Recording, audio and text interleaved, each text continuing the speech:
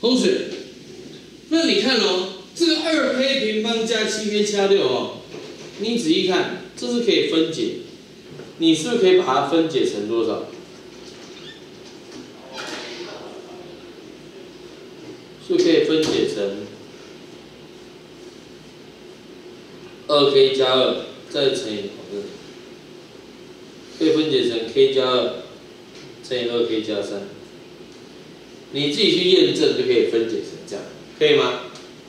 可以哈，这个你自己去分解就会发现它正好可以写成后面这两项，所以我们就发现它的确可以分解完成。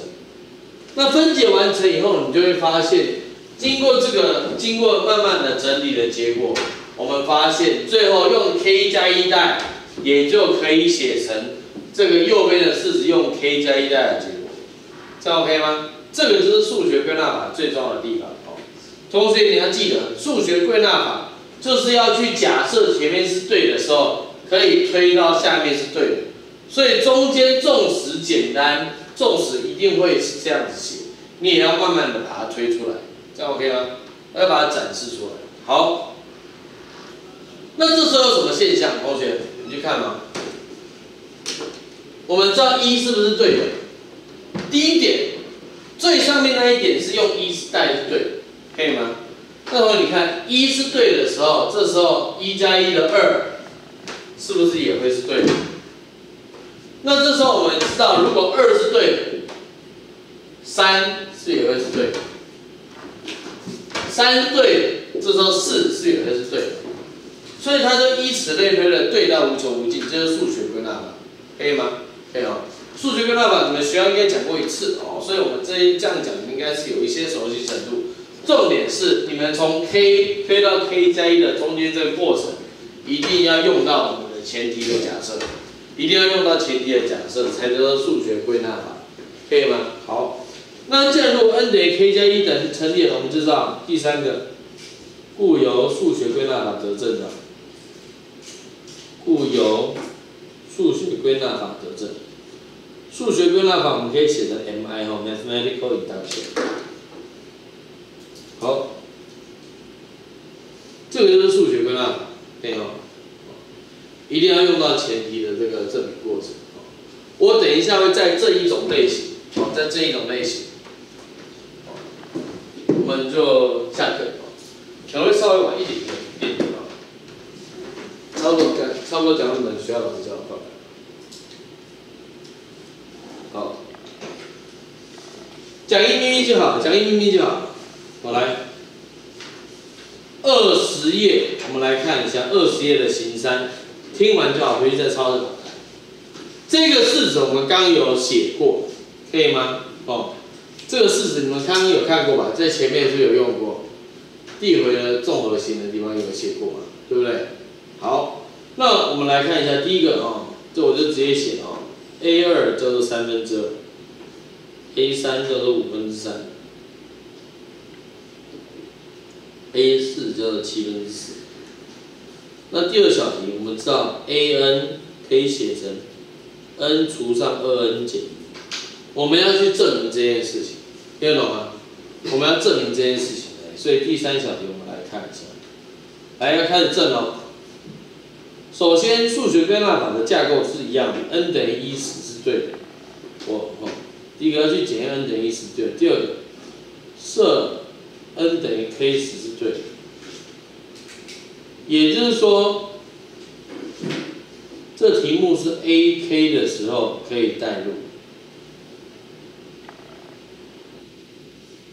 则 n 等于 k 加一，我们要去验证。我们要去利用前提去验证这个条件，可以吗？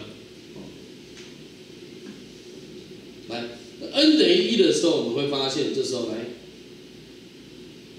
，a 一等于一，正好等于一除上二乘以一减一，所以 n 等于一是合的，可以吗？好，好来，接下来这个题目最重要的地方就是这里哦，我们希望。n 用 k 加一代的时候也会合，哦，也就是说，我们这时候希望最后可以证明出来 n 等于 k 加一十是成立的，也是对。那也就是说，我们希望算出来 a k 加一的结果，可以用上面的条件代。来，同学，先不要抄。请问你，我可以直接写下来吗？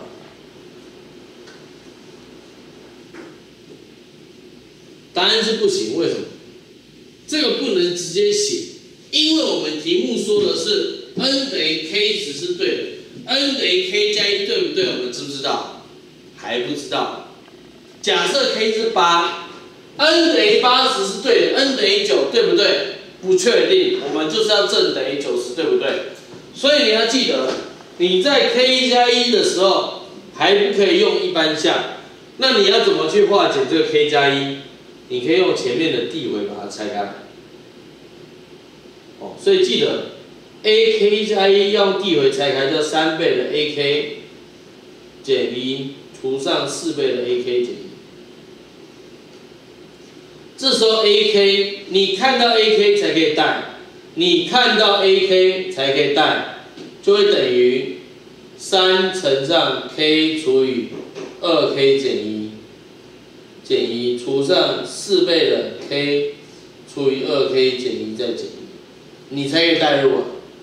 那这个时候上下同乘以二 k 减一，就变三 k 减二 k 加一，分母变成多少？四 k 减掉二 k 加一，所以算出来它可以写成 k 加一除上二 k 加一。同学，你如果上面是 k 加一，下面的二 k 加一可以写成两倍的 k 加一，再减，故 n 等于 k 加一是不是也合？哦，所以第三个就可以写了。所以最后，故由数学归纳法得证，把上面的图简单的说一下。